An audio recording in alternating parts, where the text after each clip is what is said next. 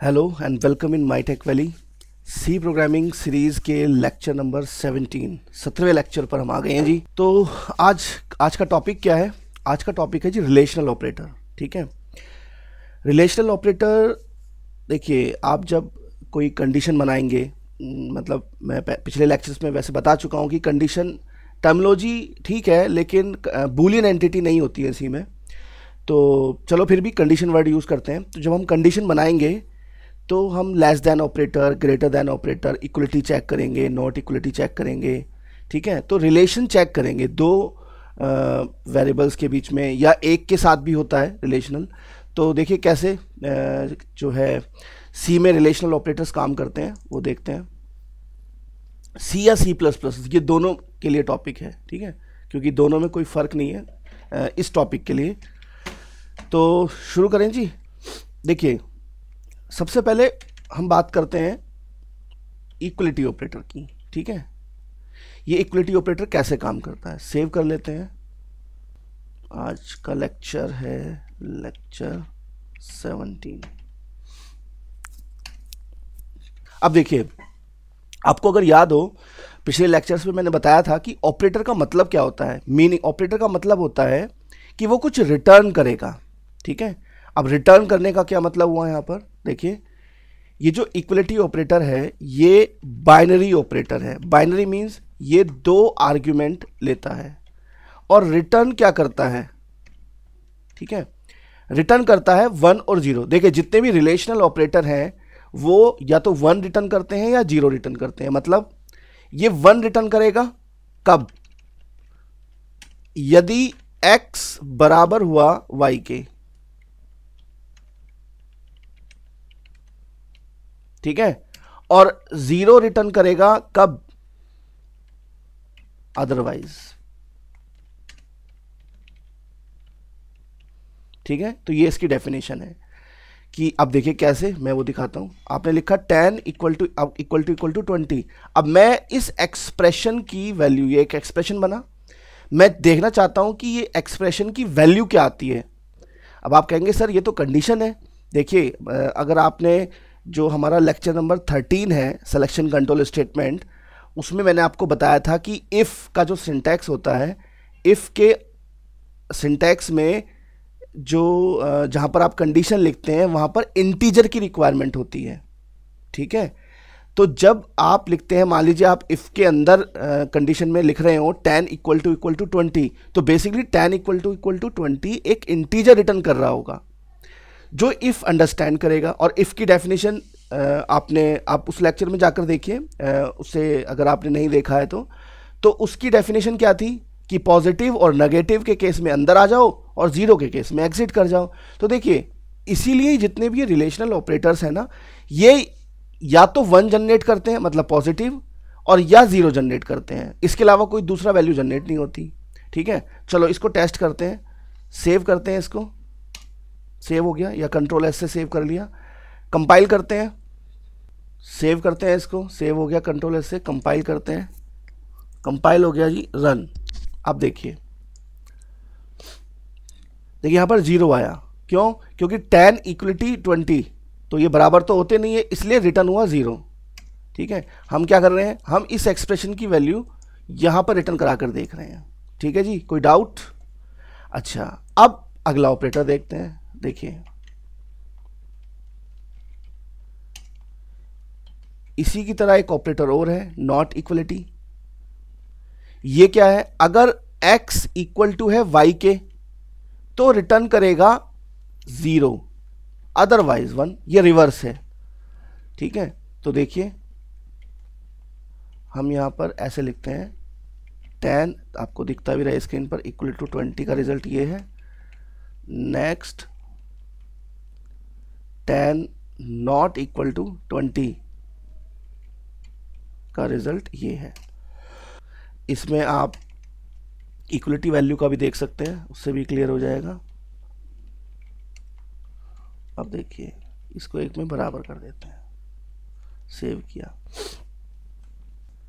Compile और run अब देखिए जी।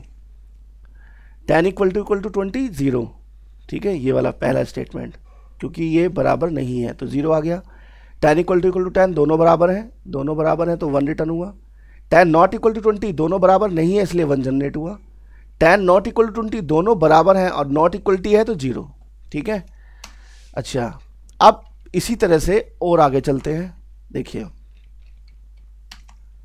लेस देन ऑपरेटर यदि x लेस देन है किससे? Y से। तो वन जनरेट होगा अदरवाइज़ ज़ीरो जनरेट होगी रिटर्न होगी। सेव किया। अब नीचे आते हैं। अब देखते हैं जी यहाँ पर। अब देखिए। टेन लेस देन ट्वेंटी ठीक है? टेन लेस देन ट्वेंटी और ten less than ten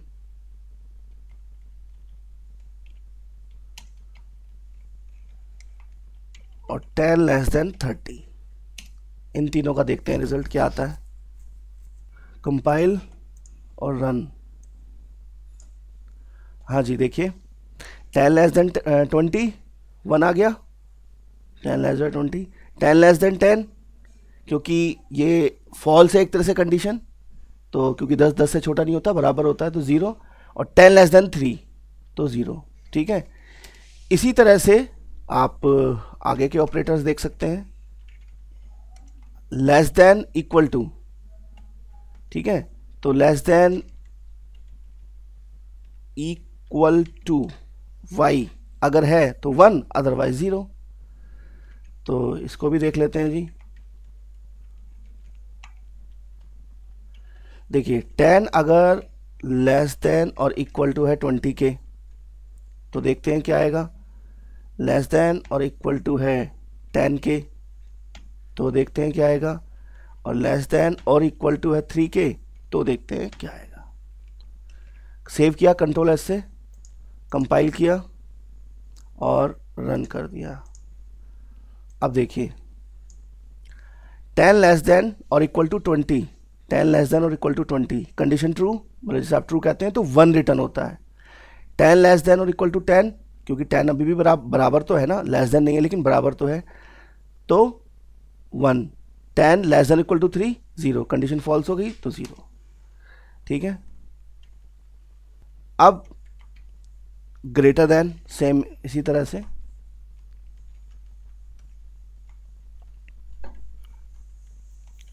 Greater than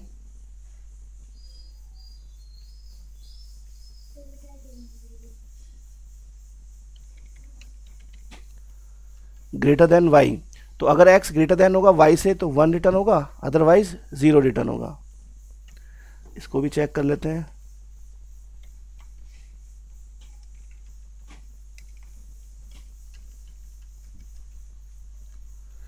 Ten greater than twenty ten greater than ten और टेन ग्रेटर देन थ्री देखिए, कुल मिलाकर बात यह है कि ऑपरेटर्स तो अपना ये मतलब वही रखते हैं जो आपको दिखाई दे रहा है मतलब जो विजिबिलिटी में इनके सिंबल का मतलब है। लेकिन आपको ये समझना ज़रूरी होता है कि ये रिटर्न करते हैं कुछ, ठीक है? और रिटर्न वन या ज़ीरो होता है, बस, ठीक है? जो फंडामेंटल चीज़ है, जो इस टॉपिक की फंडामेंटल चीज़ है, वो यही है। बाकी वरना आप तो ये पढ़ ही चुके होंगे कहीं ना कहीं से। लेकिन ये चीज़ हम स्किप कर देते हैं, जिसकी वजह से बड़ी दिक्कत आती है, ठीक है? तो ये चीज़ स्किप नहीं करनी है कंपाइल करते हैं और रन करते हैं। देखिए यहाँ पर। तो देखिए ten greater than twenty false है तो ज़ीरो रिटर्न हुआ टेन ग्रेटर देन टेन में भी ज़ीरो रिटर्न हुआ टेन ग्रेटर देन थ्री में वन रिटर्न हुआ, ठीक है?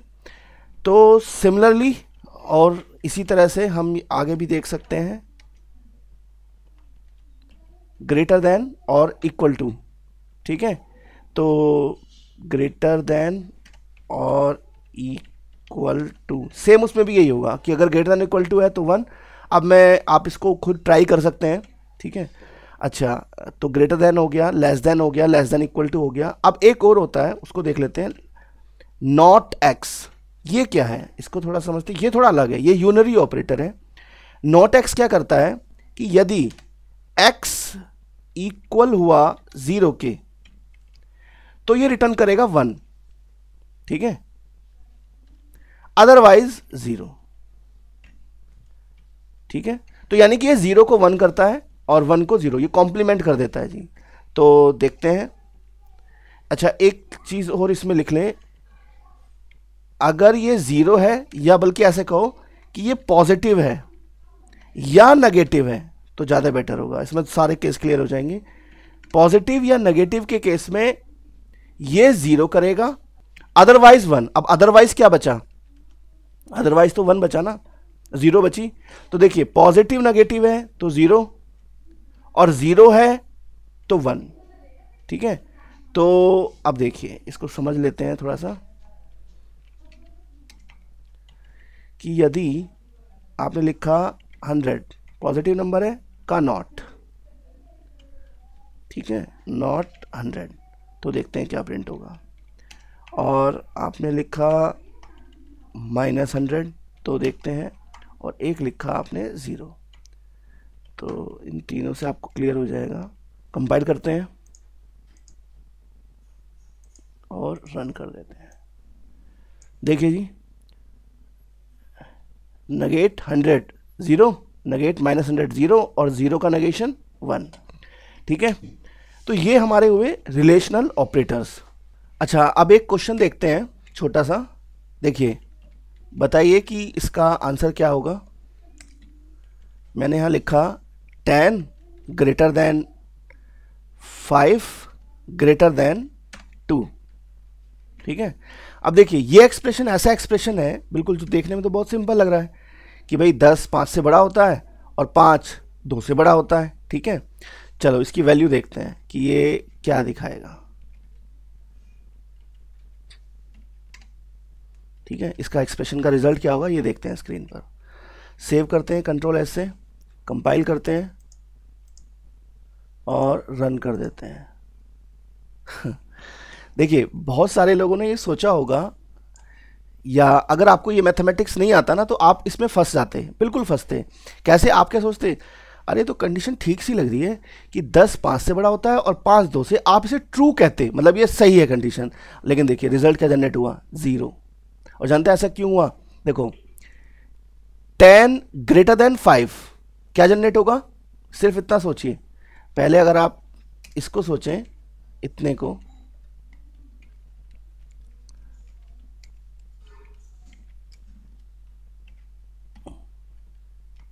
हम्म टेन ग्रेटर देन फाइव क्या जनरेट होगा इससे?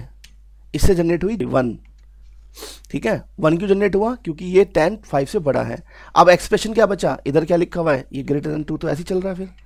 अब बताइए वन ग्रेटर देन टू क्या जनरेट होगा? ज़ीरो ठीक है? तो एक्सप्रेशन को आपको समझ, देखिए, आप जब ही समझ पाएँगे, जब आप जानते होंगे कि ऑपरेटर से वैल्यू क्या रिटर्न हो रही है तो जो कॉम्प्लिकेटेड एक्सप्रेशन होंगे। ठीक है? तो कोई डाउट हो रिलेशनल ऑपरेटर्स में तो रिलेशनल ऑपरेटर्स हमारे कौन से होते हैं जी? हमने देख लिया equality not equality less than less than equal to greater than greater than equal to और नॉट ठीक है? तो आपको मीनिंग क्लियर होना चाहिए। अब बचती है इनकी, देखिए, अभी हमने सिर्फ़ इन ऑपरेटर्स को इंडिविजुअली समझा है। लेकिन अगर ये मिक्स होकर आ जाएँ, ठीक है? मिक्स होकर इन द सेंस एक एक्सप्रेशन में एक से ज़्यादा आ जाएँ, जैसे अभी ये था तो इनकी एसोसिएटिविटी और रैंक के हिसाब से कैसे एग्जीक्यूशन होगा वो हम आ, अभी नहीं समझेंगे क्योंकि उसके लिए थोड़ी चीज़ें और जानना ज़रूरी है तो पहले हम वो डिस्कस कर लें। आज हमने ऑपरेटर्स को अंडरस्टैंड कर लिया। तो बेसिकली क्योंकि अभी हमें प्रोग्रामिंग करनी है तो हमें आइडिया होना चाहिए कि दो अगर मान लो मैं कोई कंडीशन दो नंबर्स को मुझे कंपेयर करना है तो मैं कैसे करूँगा? नेक्स्ट टॉपिक में हम देखेंगे आज हमने देखा रिलेशनल ऑपरेटर्स एक एक टाइप एक ऑपरेटर और होते हैं जो हमारी मदद करते हैं दो कंडीशंस को कंबाइन करने में, ठीक है? समझ गए होंगे आप? लॉजिकल ऑपरेटर्स लॉजिकल एंड ठीक है? और लॉजिकल और। तो लॉजिकल एंड और लॉजिकल और। एक एक थोड़ा सा मैं अभी से आइडिया दे दूँ। वैसे इसको हम नेक्स्ट लेक्चर में डिस्कस करेंगे कि एक जो है ना, बहुत बड़ी मिसकॉन्सेप्शन होती है इन दोनों ऑपरेटर्स में। तो बहुत सारे लोग इसमें कंफ्यूज होते हैं। मतलब उनको कंफ्यूज क्या होते हैं? वो पता ही नहीं होता उन्हें कि वो एक्चुअली वो काम कैसे करते हैं, ये दोनों ऑपरेटर्स तो नेक्स्ट लेक्चर में हम इन दोनों ऑपरेटर्स को समझेंगे लॉजिकल एंड और लॉजिकल और। ठीक है जी? तो ठीक है जी, आज का लेक्चर हम कंप्लीट करते हैं। अच्छा अगर कोई आपका कोई डाउट हो, कोई आपकी क्वेरी हो तो आप मुझे कमेंट करें और जो है, अगर आपको ये वीडियो अच्छा लगा हो तो लाइक कर दीजिए और आप चैनल सब्सक्राइब कर लीजिए क्योंकि आप, मैं जैसे वीडियो अपलोड करता हूँ तो आपको फिर वो, आपको मेल आ जाएगी। ठीक है? नोटिफिकेशन आ जाएगा कि आप जो है, ये वाला लेक्चर अपलोड हुआ है। ठीक है जी तो थैंक यू बाय बाय